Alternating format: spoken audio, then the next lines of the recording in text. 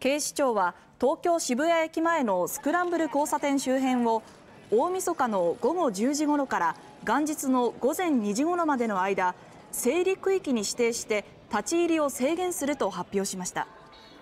区域内では JR 渋谷駅のハチ公改札口のほか地下鉄の出入り口も閉鎖し警察官が迂回するよう誘導するということです。